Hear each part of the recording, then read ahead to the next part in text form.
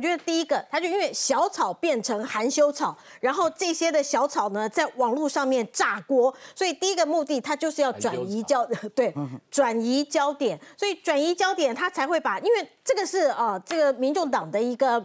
惯用的手法。那这一次呢？其实很多的小草突然发现，哎，不对呀！我当时是要投阿北啊，怎么搞得？投了阿北以后，变韩国瑜当立法院院长。韩国瑜不是我要的，而且那个时候我们每一个人几乎都在节目当中要告诉所有的选民说会有这样的情形发生了。结果小草们当时没有意料说我们竟然是先知啊！我们讲的是真的。结果呢？现在小草变成含羞草在愤怒，所以他这个是在转移焦点。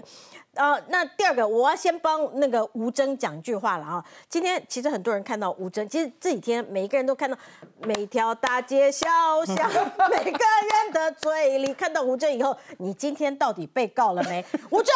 恭喜你，你今天终于被告了，而且吴征的户头里面只有七十二万，竟然他今天被求偿一百万，这是什么样的天理？实在太离谱了，太离谱了！所以，我呃基于同情同情吴征的一个立场上，我要跟吴征讲，这个其实就如同小玉刚才讲的，这个是双黄内斗。嗯，我要补充的是哈，这个请看，这是二零一九年的时候，陈永新，嗯，他上谁的节目？黄国昌做什么样的事情？彭文正的节目，对，上彭文正的节目做什么样的事情？痛骂你们民进党的蔡英文呐，说他的这个论文怎么样怎么样？那你觉得陈永新是民进党的吗？不是吧？我再给各位看一个哈，这个是陈永新，他过去哦常常出席的是民众党的相呃，对不起，时代时代力量的相关的这些的座谈会。他在一场座谈会当中，他说了一句至理名言啊！这位陈永新医师表示，要跟民众党主席柯文哲合作的话，最大的困难就是他的大嘴巴。现在陈永新医师不晓得你现在感受如何啊？这是他过去的这个感受。当这个民众党出来要告民进党告吴征以后，那会有什么样的效果？至少在这一次的立立院的院长龙头的选举当中。最高目标，第一个他能够达成的就是尤习坤不要当院长。嗯，好，这是他的最高目标。你看现在破局了吗？你看尤习坤，然后要搞到蓝绿呃不绿白哈，这个又分手。第二个，哇，这个是黄国昌可能哦半夜里面都会很开心的，让黄黄珊珊当不了院长，连副院长都没捞到。那我民众党。我手上我是民众党的总招哎，那以后这八席包括我自己，我就可以全部掌控。这是对黄国昌来讲，他真的是蒙拉 gam circle，他的双呃双黄的斗争当中，他呃在这一局，那因为哈这个大家被他们转移焦点以后，反而是黄国昌得利。嗯，那苦林，所以你也觉得民主党提告就是转移他们保送韩国瑜当院长这个焦点？我觉得不是这个焦点，是另外一个焦点另外一个焦点。对，因为你说保。送韩国瑜这件事情，像钟小平讲的嘛，韩粉有五十万投给这个柯文柯文哲嘛，那柯文哲当然要投桃报李，何况柯文哲四年后还要还是要选总统嘛，还是会出来搅局的，所以当然他要支持韩国瑜。那其实我们也早就知道这件事情会发生，我觉得其实。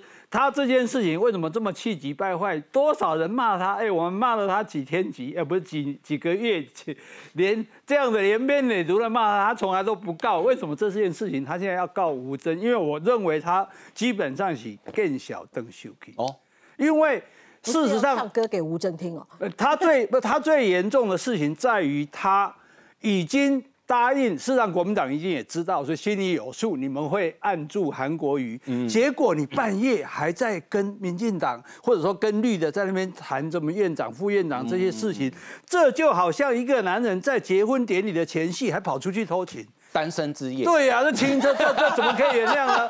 那所以你这个时候讲谁先打电话，谁后打电话，就等于讲说是他勾引我，还是我勾引他，都是一样的嘛。反正你就有心要跟人家睡觉嘛，不管你有没有睡成，你都是不行的嘛。所以我觉得这个这个其实让国民党吓出一身冷汗。哎呦，要求也既然差一点，搞不好如果被他们搞成了，我们就真的就就没戏唱了。对这件事情破坏的不是柯文哲的信用，柯文哲本来就没有信用，可是这是破坏这个。我们本来叫他小白七吧，因为七个嘛，后来变成 小蓝八嘛，哈。这小白七也好，小蓝八也好，他们的信用是个问题，就将来现在蓝白都会对呃蓝绿都会对他觉得很害怕，觉得没有办法跟他合作，所以这才是他真正介意的，所以他要用告来洗洗清自己，替自己洗刷清白，那当然是不可能成功的事情。嗯，那建议你怎么看？我觉得这件事情就很清楚的几个点呐、你刚今嘛来告，为什么他告刑事啊？告民事不告刑事？因为刑事如同小玉姐讲，他要故意故明知故意不可为而为之呢。嗯，明明你没有偷东西，我就告告诉人家说你偷东西，当然你可以告我诽谤。对，那看起来刑事他不敢告，因为根本没有吴真没有所谓的无故或者是故意，明知不可为而为之。他没有无中生有就对对了。，所以呢，打电话这是事实，就变成是主观的一个证据来讲，刑事当然告不成。可是他对小草要不要有一个交代？嗯嗯因为他现在很多小草退粉哦。嗯，哦，有一段有一种含羞草含羞草都退粉哦，为什么？因为他们就是不喜欢国民党，不喜欢韩国瑜。可是，在柯文哲的认知内，这件事情我拿民进党开刀，原因是我不想得罪韩国瑜。为什么？韩国瑜还有一些韩粉，他四年后要拉的票是蓝军的票，不是绿军的票。所以他整个过程当中都是用这种东西在做考量。第二个，大家知不知道？一月十三我们选完了，我们说所有二月一号投票的结果，最大最大的共识，我相信每位在座的都有谈过，有可能是投自己。嗯，结果他一月三十证明了我们一月十三所讨论的内容当中，但过程当中这十几天，他的声量一直在往上飙，他要的是声量，包含王国璋出来开记者会说说什么？哎，我们要开记者会告诉大家我们要怎么做，可是第一次大家都用真笑，嗯，到了一月三十出来开会的时候就说我们决定第一轮投自己，第二轮不投。可是现在看起来，所谓的含羞草也好，小草的好，大家在不能接受是第二轮，你对不起那些一百零五位民选出来的民意代表哦，嗯嗯嗯，不是只有不投票，那是这个部分你对这些人没办法交代，加上这些海本在退粉，所以呢，你在一月三十一号又要转移焦点，到二月一号投完票以后再来说民进党怎么做怎么做。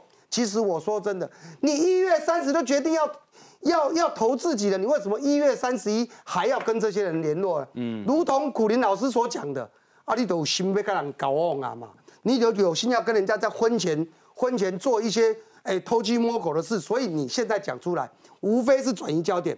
陈昭之在二月一号盖错票，对我甚至于认为说他们第一轮投自己，故意陈昭之做的那个动作，我相信里面的人都有讲这些事情。嗯，好，这个有共识出来又大你觉得。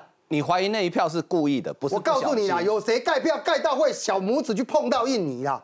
我做议员做五盖，我倒议长倒五盖啦，对不？过程当中，国民党里面在民前还没当议员之前，还有一些内容我们都知道。你说故意，我就算拿只手这样子拿，我小拇指也会翘起来、啊，对不对？所以我觉得故意去碰到，然后这样画到，我妩媚个人妩媚，我个人认为啦，哈、嗯这个是他们为了要避免大家去讨论他们第二轮投自己的问题。哦那陈昭之的事情发酵过大，他们压不住了，压不住了以后，他们才二月一号才又去做了这个东西，要让民进党转移焦点。嗯那看起来整个过程无非就是声量，所以整个这个所谓的提告不提告等等的问题，我觉得柯文哲现在在引引火自焚啊。嗯，这个事情我都当耍嘛。你提告到最后面出来民事求偿不成功告输的时候，然后呢，说外又怎么样？他又制造下一个论述的鲨鱼理论，继续再让大家在推。所以我我个人认为啦，黄国昌这一次出来说太离谱了，二月几号要开议开议的，其实也在转移嘛。嗯，那我还是一句话，在之前我就讨论过，黄珊珊跟黄国昌两个现在要斗，无非是刚才来宾所讲的内容，他们两个在斗的情况下，斗赢的还要跟柯文哲斗。斗，其实这个东西就是民众党里面柯文哲的一个做法，很清楚，这是毛泽东嘛。毛泽东理论的是，你可以打大概贝啊，每个人都会跟我向心力跟我投诚，最后面获利的人是谁？还是柯文哲。所以柯文哲整个过程当中还是以自我为中心在思考。我个人认为，不要把选民都当成笨蛋。小草在退粉，我告诉你，曾经是啊支持柯文哲的人，最后面变柯黑的数量是越来越多。